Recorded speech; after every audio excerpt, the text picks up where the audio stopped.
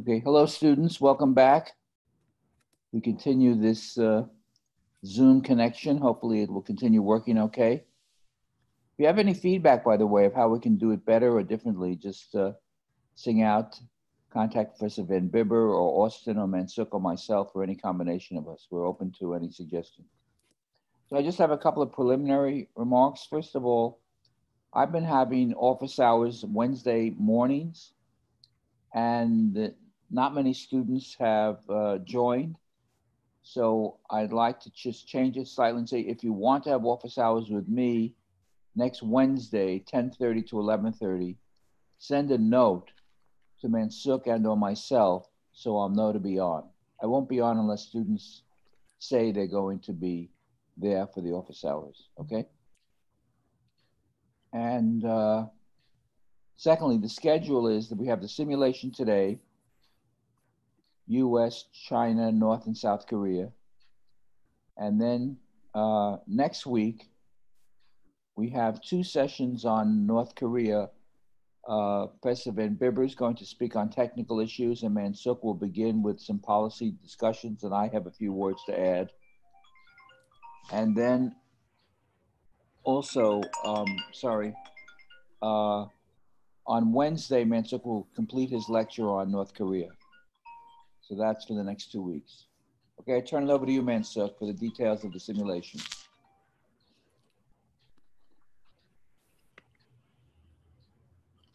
Can't hear you, Mansuk. Mansuk? Yeah. Can't, can't hear you. Okay. Okay. Can, can you hear me? Yes, now I can hear you. Okay. So uh, as I posted on the bCourses, the sequence of the simulation will from North Korea, US, South Korea, and then China. So each team will present 10 to 30 minutes about their uh, negotiation goals and strategies and uh, considerations. And then uh, each, each team will answer questions for five minutes. After that, uh, we'll have uh, the, the open discussions for all our class. Is that clear? So we'll begin with uh, North Korean team. And uh, please uh, briefly introduce your team, team, you know, uh, team members first, then uh, uh, present to your slides. Mansuk? Yeah. Is it okay? We actually incorporated slight transitions uh, where we introduce each person as they speak progressively. Oh yeah, it's up to you. Okay, cool. Okay, are we good to go? Good to go. Good luck. Thanks.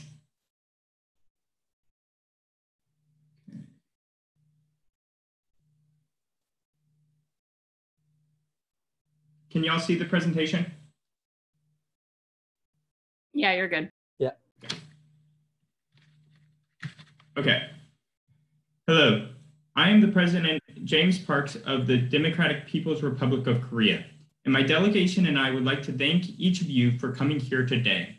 This summit marks a momentous occasion for the Korean Peninsula and for the world. For the DPRK, it may be perhaps the most important turning point in the history of our fair country.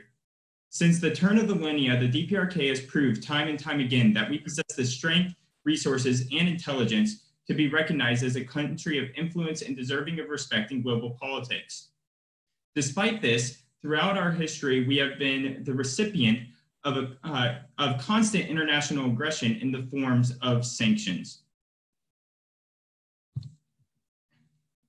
Uh, even over just the past 20 years, the impact of sanctions on our economy is readily apparent.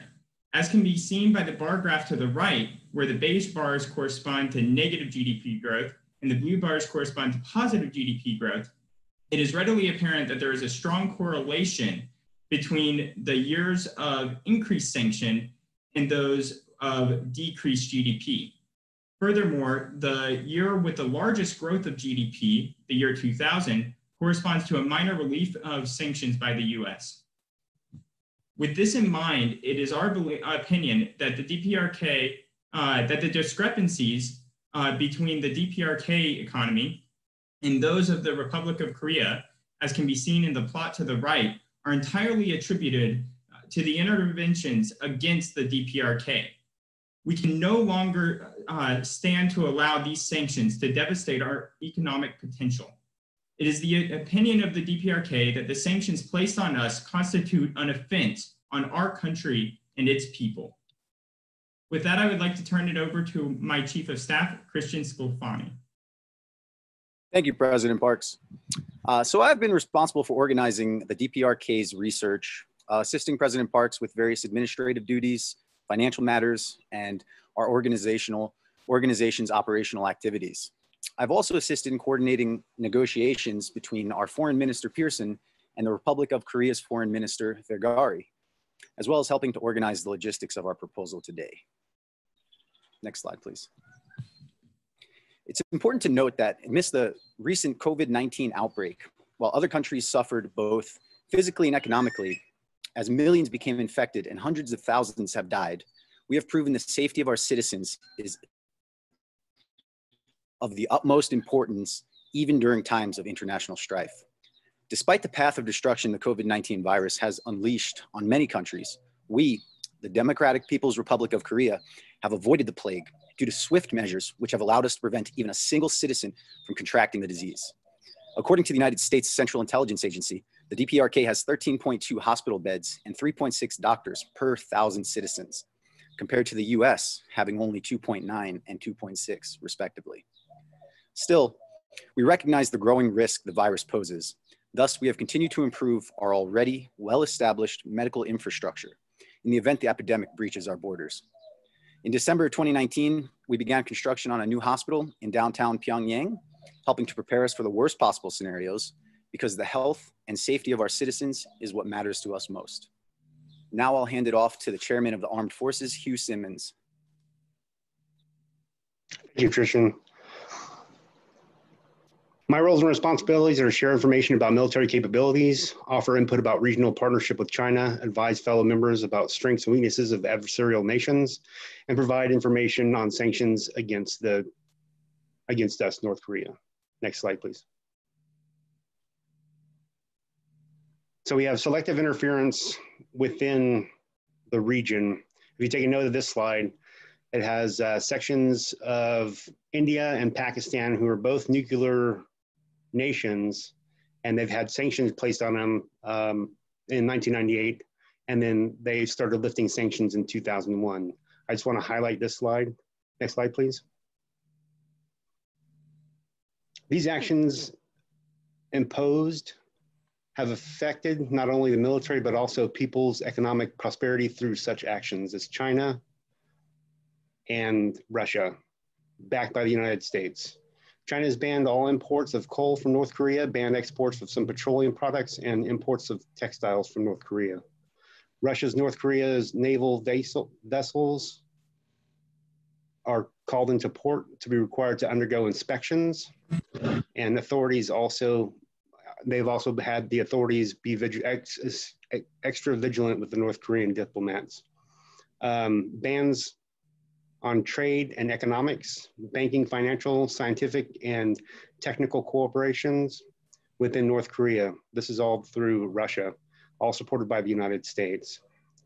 Japan imposes sanctions on North Korea, including banning remittances, prohibiting North Korean citizens from entering Japan, um, even banning North Korean ships entering Japanese ports and extending it to, to include other ships that have visited North Korea. South Korea has banned North Korea ships from South Korean ter territorial waters, uh, suspending trade, intertrade within the Korean Peninsula, um, with the exception of the Kaesong Industrial Zone, and that was later closed, banning most cultural exchanges between North and South Korea. The United States has had a had sanctions against North Korea since 1950, from 1950 to today. So these sanctions include um, based on trading with the enemy, not allowing not allowing trade with the United States and North Korea. Um, these involve minerals and metal trades, trades, which compromise a large part of the North Korean foreign exports. You know, so the United States is cut from its financial systems or freezed assets and many companies, businesses, organizations, and individuals trading in goods, services, and technology with North Korea. Next slide, please. I'll be followed by the defense minister. Thank you. Uh, hi, I'm Chai Padetti, and I'm the D- Minister of Defense for the DPRK. My roles and responsibilities include planning and implementing national retaliatory measures against foreign threats, to strategize defensive measures for possible foreign threats, and to use intelligence to understand opposition offensive capabilities. Uh, next slide, please. Uh, as for our uh, defensive capabilities, uh, we have somewhere in the ballpark of 50 uh, nuclear warheads that we are ready to uh, ready to launch at any time. We have a significant stockpile of chemical and biological weapons for more shorter and intermediate ranged attacks to deal with our local uh, geographical region. Uh, our nuclear program is a far cry from what it was in the 50s and 60s from its humble beginnings. We are uh, serious nuclear threat in the world as it stands. We have about an estimated 4 million tons of uranium ore. We do not need to rely on external forces to get sufficient amount of uranium ore in order to run our nuclear programs. And as I said, we are a far cry from where we were 50 years ago. We have more than uh, the capabilities for a West Coast strike on the US. And in fact, recently we even have confirmed uh, capabilities of an East Coast strike. So we are, in fact, a very formidable nuclear power. And um, I will turn it over to our uh, sec uh, secretary advisor, Yves. Hi. Uh, so my role has been to provide insights and gather information about the international military capabilities and situation, thus helping our uh, delegation to come up with fair and informed negotiations with uh, the other states. Next slide. First, the US is a very strong state. Uh, it, it is a nuclear state with a significant amount of military units and bases in um, Eastern Asia.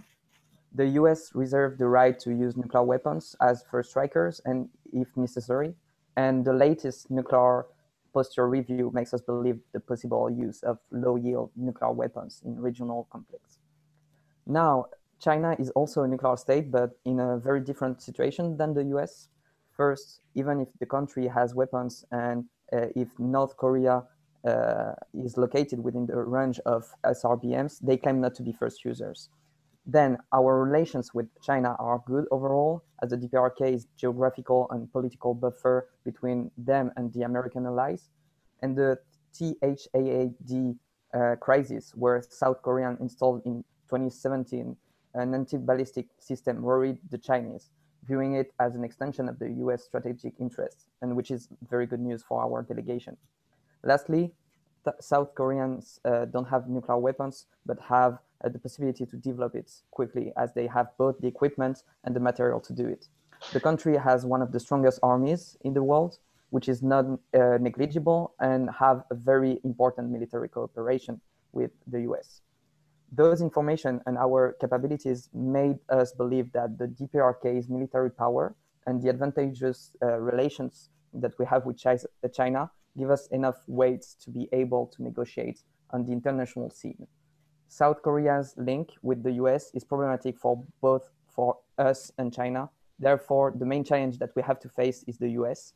This motivates us to want to decrease or even remove the American presence in South Korea and strengthen the relations with China. Uh, next slide. So now I will let uh, Tatiana Ferraz, uh, the Director of National Intelligence, speak. Hello, my name is Tatiana Ferraz, and I'm the Director of the National Intelligence of the DPRK. My aim was to gain valuable inside information and provide that information to the President, to President Parks and the Foreign Minister Pearson about the other delegations' interests, their strategy, possible talks and agreements that they have been discussing with other delegations before the summit, all that we would like to uh, complete during this summit. Providing this advanced knowledge about all the delegations improve our position in the nego negotiations since we are better prepared about what to expect from our counterparts. DPRK's, uh, sorry, next slide. DPRK has recently in 2019 reinforced the National Intelligence Agency and still advances it. Although we cannot release our exact methodology, we, can, we use non-conventional sources of collection of classified information and we use that for our interest. It is clear that foreign intelligence agencies have been not be able to, to get classified information from our activities, and this can be shown from the misjudgment and miscalculations of our nuclear and other technological capabilities. Inside information suggests that the US delegation has pressured South Korea delegation for an agreement prior to this summit. The US clearly wants to destabilize the Pacific region by trying to sign this agreement with South Korea and also maybe include China. As the foreign minister Pearson will inform you in a moment, this agreement we proposed to South Korea aimed for the exchange of more class classified information. Now I'm heading to foreign minister Pearson. Hi, my name is Foreign Minister Aidan Scott Pearson. My role was to conduct negotiations with the other foreign ministers, to coordinate with President Parks and our Director of National Intelligence, Tatiana Ferraz, to better understand our posture, and to work to create and finalize agreements with the other delegations. Next slide.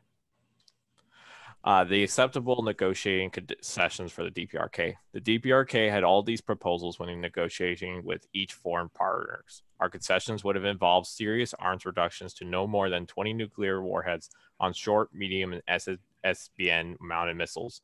These reductions would occur over a 15 year period and involved major concessions such as allowing Republic of Korea inspectors into the DPRK and a freezing on testing, along with ending the current war that's not been resolved by either party. We were also willing to look at reductions in long range ballistic missiles with the United States. We believe that these would be favorable concessions that would yield desired results, but instead they were unilaterally rebuffed in different ways. Here is the overall circumstances with each negotiation. The DPRK entered good faith in negotiations immediately with the Republic of Korea to attempt to normalize relations with them. We offered the modernization and optimization of national strategies for helping integrate new exchanges, Moonshine Agreement, which roughly adhered to the concessions outlined on the previous slide, and would officially have put an end to the Korean War in exchange for a resumption of trade. The Republic of Korea was unable to complete the agreement in a timely manner since there was concerns over wording. Even when the DPRK was prepared to surrender large concessions in the interest of peace, there was interest in going even further. It was difficult to see how this would be completed in a timely manner. Next slide. The DPRK contacted the American de- de- delegation quickly to establish an open chain of communication. Instead, we received accusations that we were spies. The Americans also refused to discuss a long term arms reduction agreement, stating that they wanted to focus on denuclearization. We also offered reductions in long range ballistic missiles, and they refused to our great astonishment. We therefore believe that the Americans are itching for an armed conflict to prop up a failing administration. They also stated that they believed it would be necessary for the agreement to occur in a short time period.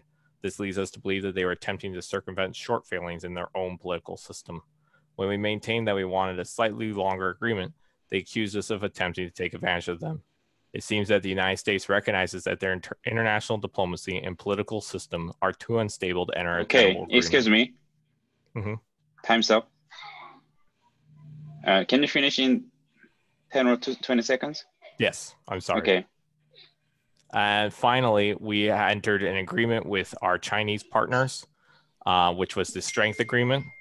This agreement laid out that any offense to the DPRK would be viewed as an offense to the Chinese and so forth. And we also agreed that economic sanctions were an offense. I'll turn it over to the president of the DPRK.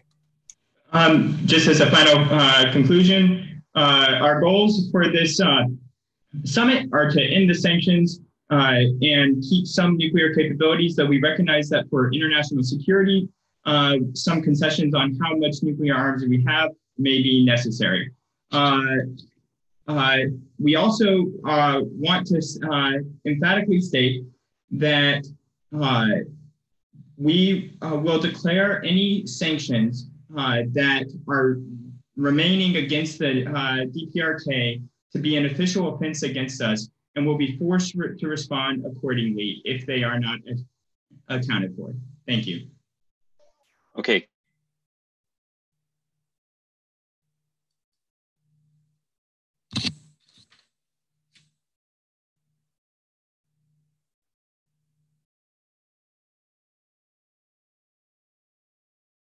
Does Team USA just like automatically go? Should I start sharing my screen?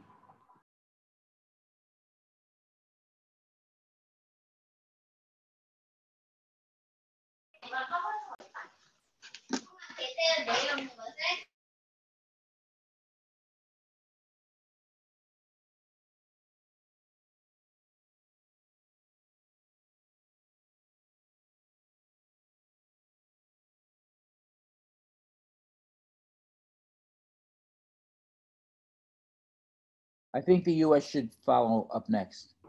Okay, I'll just start. Yeah. Can you hear me? Yeah, we couldn't hear you before. She asked if they should start, so I told her to start. US.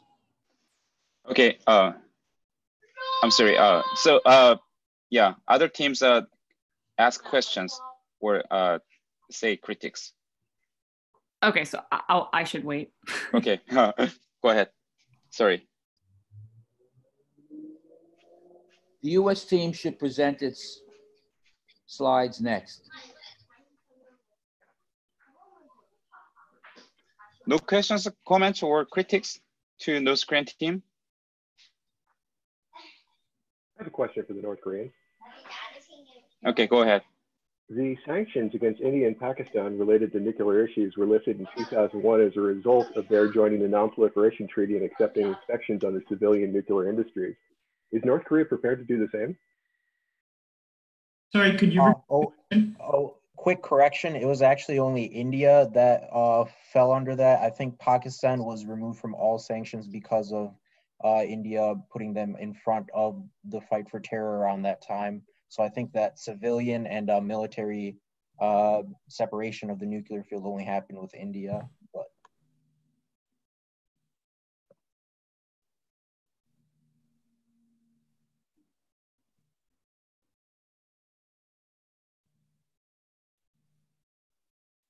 Okay, Professor Nacht and Bibber, uh, may we start uh, uh, US Yes. I- I think presentation? Have the US. Ready to go. presentation- Presentation next. Okay, US team, you're good to go. Okay, we'll we'll take it away. Thank you. Um, oh, is it not working? Okay. Uh, so hello everyone. Um, so first, just a brief disclaimer to our slide. We uh, just wanted to make it clear that any sensitive issues that would be part of back negotiations are just being pre- presented up front in this presentation, which isn't really realistic, but that's what we're doing. So anything that was would be considered a back channel negotiation is italicized and presented in the color you see here, like a magenta. So hello everyone, welcome to the summit. I am Clara, the President of the United States, and I will allow my delegation to introduce themselves as negotiations proceed. North Korea has remained a persistent threat to the US and its allies. North Korea has made advances across several domains, including nuclear weapons, long range missiles, submarine based missiles, and short range artillery. These capabilities make it not only a threat to US interests in East Asia, but to the US homeland. North Korea's threatening behavior, consisting of the development of illicit nuclear capabilities and proliferation, has made these negotiations unavoidable. We recognize that any negotiations revolving around North Korea's nuclear weapons plan will influence US relations with all other major powers in the area, particularly China and South Korea, which is why these powers have been invited to this negotiation. As you will see when we present our overall strategy, any US policy placing economic and diplomatic pressures on North Korea depends heavily on China backing us, as they are one of North Korea's largest trading partners and as a main US ally and the target of small scale attacks by North Korea, South Korea is at the summit to weigh in on the discussion. Our new negotiation strategy in its simplest form involves complete denuclearization from North Korea within, established, within an established time frame that will be presented later. In exchange for this, the US will adjust sanctions against North Korea. I leave it to the rest of my team to lay out the US strategy in full. The Director of National Intelligence, Sam, will now continue. Hi, I'm Sam Harrishoot, uh, Director of Intelligence. And uh, as part of my role, I was uh, supposed to look into considerations and motivations uh, for the other countries entering the negotiating table here. Uh, so I'll start with North Korea's considerations. Um, one of their chief considerations is their defense in the region, and uh, a crucial part of their defense is historically or has been uh, using nuclear weapons for deterrence.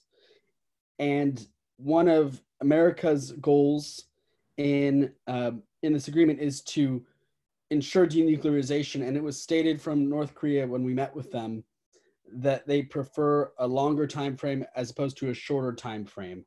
uh, for denuclearization.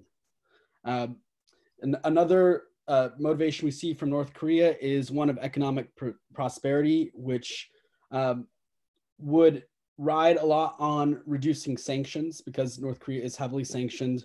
Um, up until the presentation we just saw, we had suspected, although not confirmed, that coronavirus assistance would be a priority of North Korea's right now, uh, given the pandemic going on and um, it, given North Korea's problems with medical care, including but not limited to tuberculosis, Hep B outbreaks, lower life expectancy, lower heights due to famine.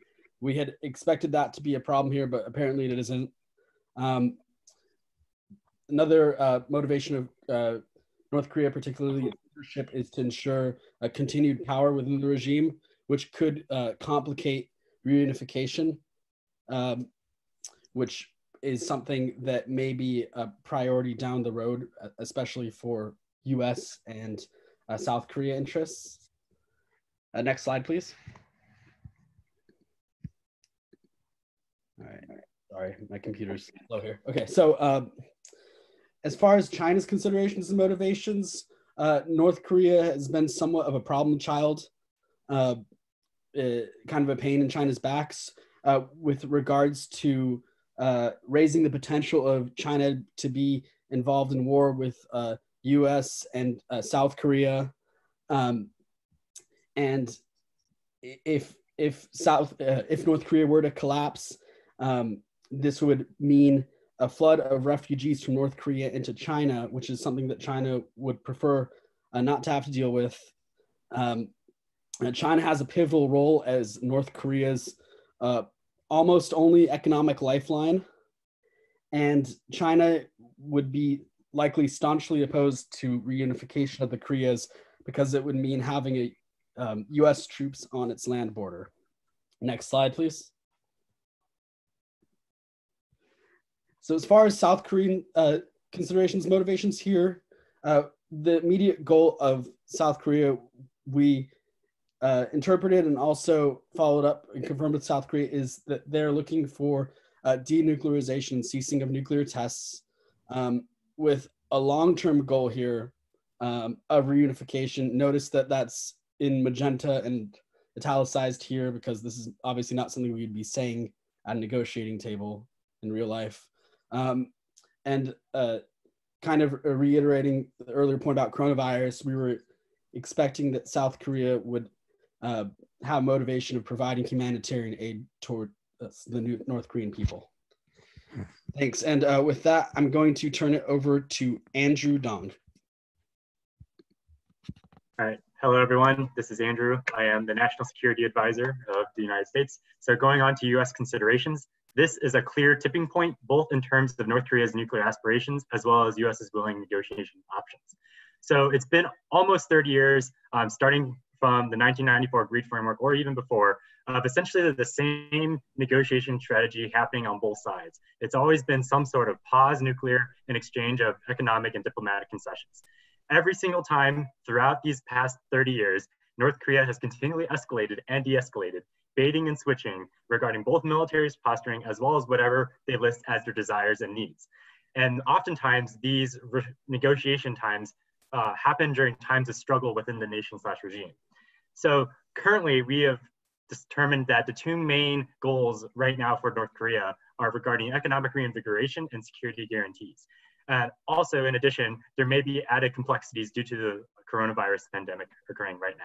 So on the bottom, you see a plot of just examples of snapshots of different agreements that were made, followed by North Korean unilateral breaking of said agreements, causing to reinstallation of sanctions that are not just unilateral sanctions by the United States, but especially, for example, in 2017, multilateral sanctions through the United Nations.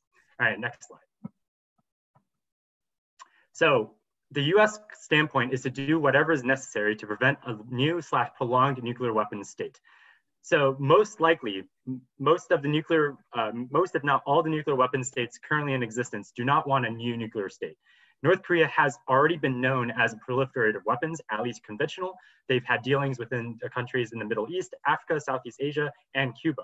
Uh, and as well as other countries. Many of these dealings are also going through Chinese intermediaries, which is something to be discussed, especially within China. Um, using inspiration from the JCPOA, there's also things that we're going to be considering in terms of our negotiating options. So first is an inclusion of some sort of international arbitration enforcement body. Um, this will be allowing for potentially uh, the ability to modify the agreement online with potential extensions or things of those nature, uh, adding in redundancy uh, options as in multi, multi-pronged approaches to making sure denuclearization happens, as well as, quote, leaving the military option on the table. And then regarding differences from the JCPOA, we cannot just copy paste the Iran nuclear deal for one for North Korea, in that one, Iran did not have a complete nuclear weapons yet. And two, North Korea is already testing nuclear weapons, meaning that the timelines of sanctions relief and overall agreements cannot be the same. Now with that, I will uh, turn it over to Secretary of Defense. All right. Um, so the United States overall strategy uh, going into these talks is one of proportional responses for proportional actions. Concessions made by the DPRK will be met by proportional concessions from the United States. The second key point is that a threat to an ally is a threat to the United States, as South Korea and Japan are in range of most, if not all, DPRK missiles. The United States will treat short or long range missiles uh, as the same. Lastly, the DPRK has repeatedly used its nuclear arsenal as a way of forcing certain concessions from the United States and other nations. This behavior will not be allowed to continue. Any failure of a de denuclearization agreement will likely result in US military strikes designed to cripple North Korea's nuclear capabilities. Next slide. Uh, the thermonuclear test and ICBM launched over Japan is a clear threat of offensive nuclear war, and as such, will require immediate action and attention. Because of the delay between uh, these recent events and the summit, the United States will immediately enact the following actions to increase sanctions against the DPRK and resume joint military exercises between, uh, with Japan and, North, or, and South Korea. Next slide. Uh, the United States' end goal for this summit is to provide full sanctions relief and security of the DPRK in exchange for complete denuclearization. To accomplish this, the United States hopes to put in place a long-term, comprehensive, verifiable, uh, irreverse, irreversible uh, denuclearization plan. While the exact details of this plan are up to debate, the following points will be insisted upon. Multilateral international verification regimes, including both safeguards and inspection, a 10-year timeline with the possibility of extension, and the ability to withdraw from the agreement. Uh, and with this, I will turn it over to our next person. Hello, I am Richie, the Secretary of State. So we have proposed a timeline um, for this deal with North Korea. The end goal is the complete denuclearization of North Korea. So immediately, if they accept this treaty, they must cease all nuclear weapons testing and the US will guarantee their security. We will also provide partial sanctions relief, relieving some sanctions that have been placed on Korea throughout the years. And we will work with the UN to roll back any sanctions that were placed as a response to the July thermonuclear test. Uh, next slide, please. So in the first five years, we expect North Korea to remove 50% of its nuclear weapons and the stockpile related to any nuclear weapon development the US will work alone and with the UN to further reduce sanctions, uh, including those on trade, which will help the uh, North Korean economy. And at the seven year mark, we give North Korea the option to renegotiate the treaty to extend it to 15 years, which will look something similar like in the next slide, please. Like this. So over the 15 years, they still need to denuclearize, and we will require them to agree to further demands, but they get to keep their nuclear weapons for a greater amount of time. So as seen here, uh, 15 year proposed timeline will have their nuclear weapons uh, at a greater amount than for a longer period. Next time, next uh, the end goal here, uh, once North Korea has completely denuclearized, the US will end all military exercises and pull most of its troops away from South Korea. Uh, we will work with the UN once again to reduce uh, economic sanctions placed on North Korea. And with that, I'll pass it over. Uh, you guys are at afternoon, time, so if you could wrap up in like 10 to 20 seconds. Good afternoon. I'm Ben Hicks, the chairman of the Joint Chiefs of Staff. So we see any failure of the agreement after in place, immediately we re-implement sanctions consistent with the violation. Continuing continuous delinquency involves more re- re-implementation of previously rolled back sanctions and potentially more. And any reversal of the agreement re-implements all sanctions, additional sanctions, and other measures we, the United States, see fit. Uh, next slide. We're strongly considering an increased unilateral and multilateral sanctions um, for failures of discussion or the summit. And if we see continue threats by North Korea's military, we will consider military action. Jessica Elder, Chief of Staff. As a summary, uh, North Korea's recent testings have made this negotiation absolutely necessary. We believe our proposed plan is fully achievable, but only through the cooperation of each country in attendance today. And we'd like to emphasize that although we understand North Korea's goal of using nuclear weapons as a deterrent, we believe that if the measures we have outlined are taken, such as providing aid and rolling back sanctions, a higher level of trust can be established between all parties, and this method of deterrence won't be necessary. Um, shown on our screen is a brief outline of the steps we believe are necessary to achieve this. We'd like to note that although the US would prefer a timeline of five to 10 years to minimize prolonging of weapon state, we recognize the legitimacy of North Korea's security concerns, and we have therefore proposed a possible extension of the timeline to 15 years, but only after all parties have been shown to be acting in good faith. And we believe that by providing concessions proportionally, the outcomes of the agreement will be favorable to every party involved. And we would now finally like to open the discussion up to any questions. I have a question. All right. Uh, my question is is that most nuclear states uh, around the world have a small arsenal of 20 to 50 nuclear warheads. Uh, why, in particular, is North Korea being targeted for complete denuclearization when we are willing to already extend major arms reductions? And on top of that, uh, why is the United States considering military strikes when they are stating that they are concerned about North Korea's military uh, maneuvers?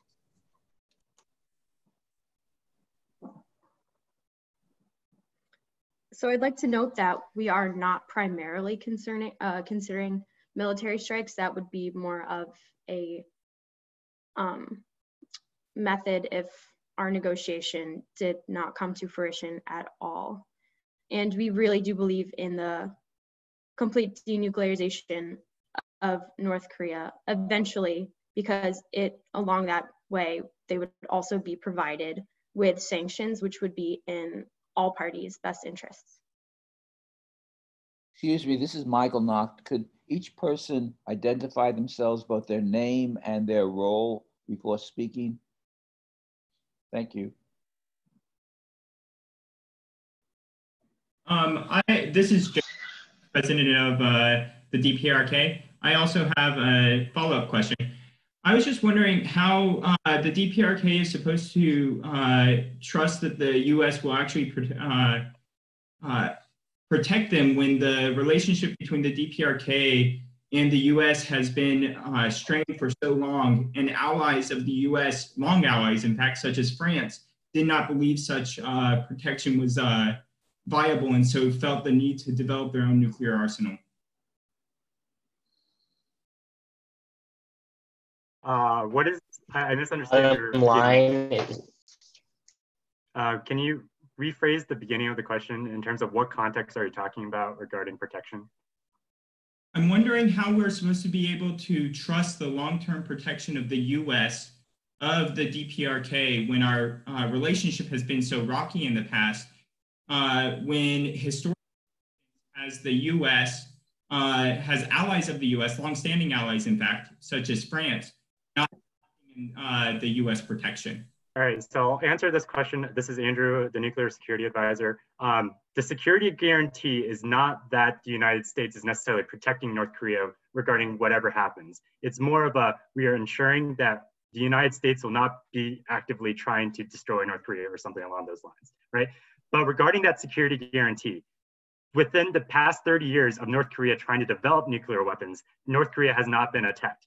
So therefore, the fact that North Korea has a nuclear weapon now does not mean that the security guarantee all of a sudden is magically there. Because in the past 30 years, North Korea has not been attacked. So from our standpoint, North Korea having a nuclear weapon is not key to their deterrence or key to their national security in terms of security guarantee. If that makes any sense. Thank you.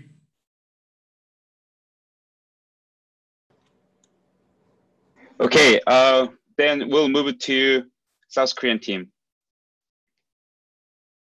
Okay, I'm gonna. So basically, I give you 13 minutes, and uh, uh, if you have more slides, uh, then I'll give you two more minutes, then a total of 15 minutes. Okay.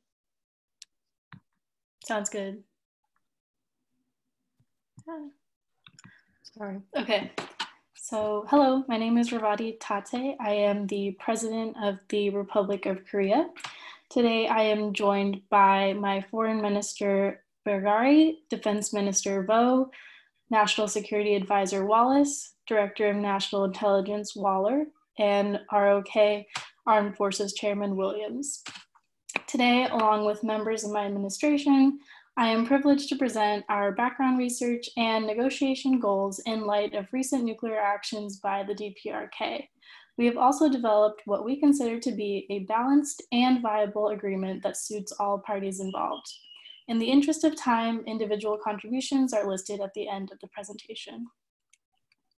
So our overall mission statement is that we would like to renormalize the diplomatic and economic relationship between the Republic of Korea, hereby referred to as ROK, and the Democratic People's Republic of Korea, DPRK, by restoring the regional military balance. Our primary negotiation goals include a nuclear test ban of the DPRK, effective immediately, as well as yearly percentage-based reduction of specific nuclear warheads in exchange for medical support in light of the COVID-19 crisis, economic cooperation, and investment in the DPRK. So a few reasons as to why we should negotiate today include military considerations, diplomatic considerations, as well as economic and sanction considerations.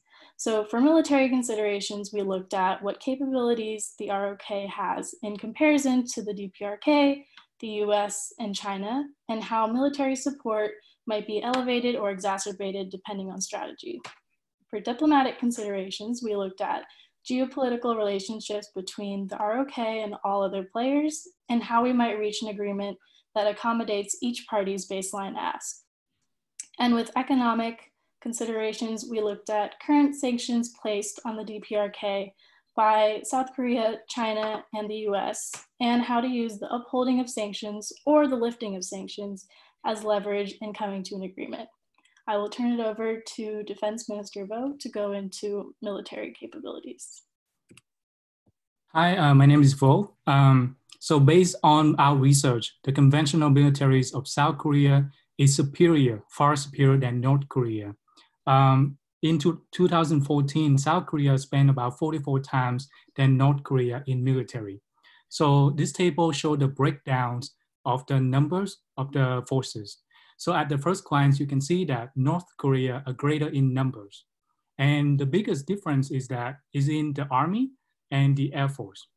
So you can see that um, uh, North Korea prioritized their forces on offensive force, like greater, much greater number of troops, uh, ships, uh, submarines, and multiple launch rocket systems. And these are for like potential massive invasions of South Korea.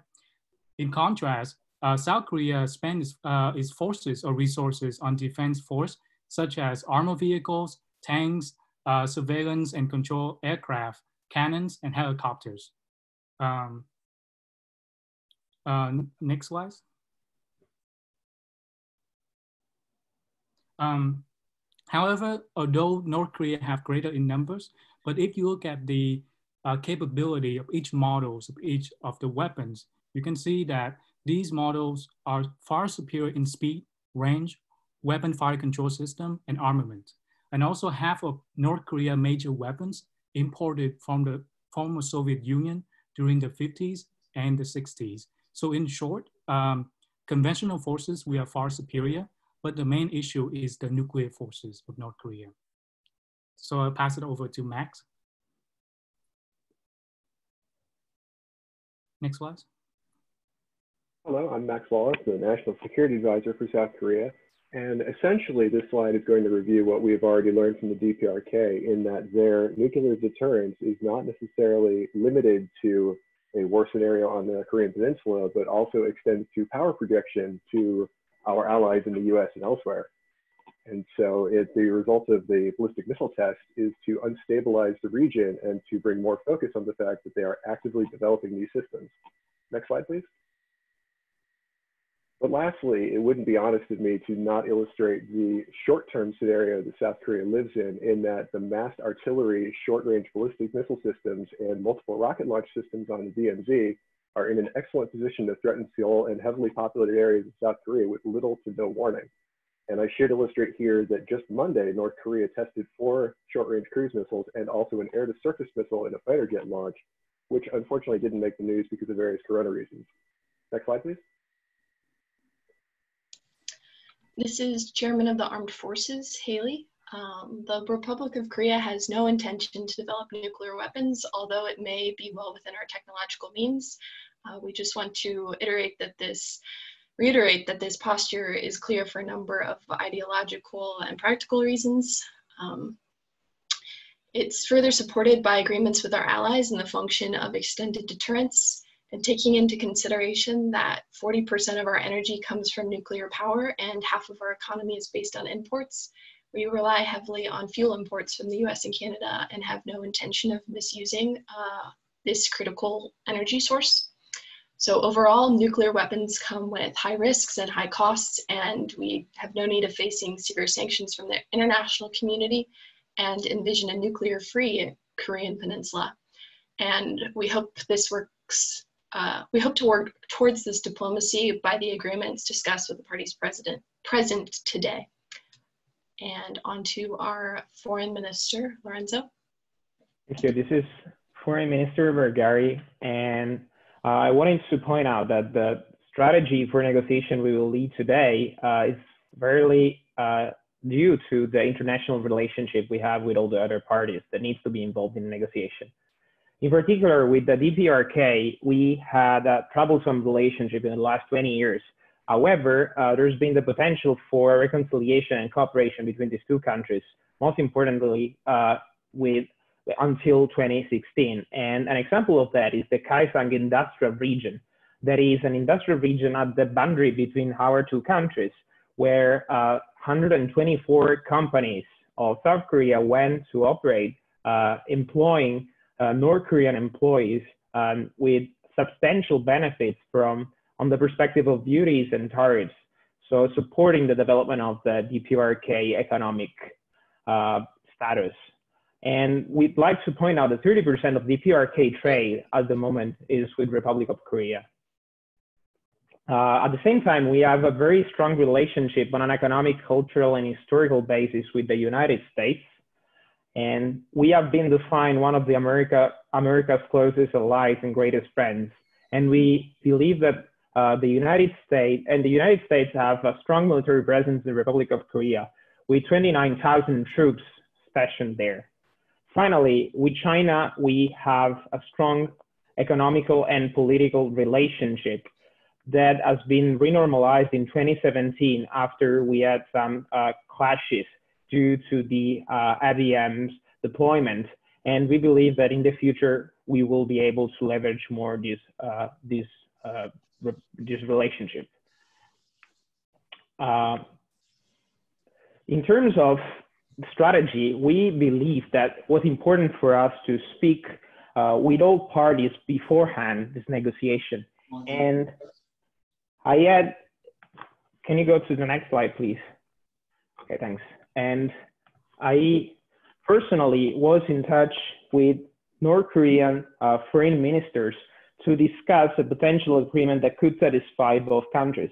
We put clearly that the importance for South Korea was to freeze testing, reduce the weapons, and achieve and set the goal for normalization and complete removal of all weapons. DPRK proposed us an initial agreement that we believe to be ineffective because it only banned tests of supercritical materials and allow the possibility of, of having testing for missile technology. A lot of discussions with North Korea, however, uh, also leveraging the positions of the United States diplomacy, diplomacy team, show that there's been convergence on the objectives, and we will discuss that later. Uh, we will discuss that later. Thank you. Next.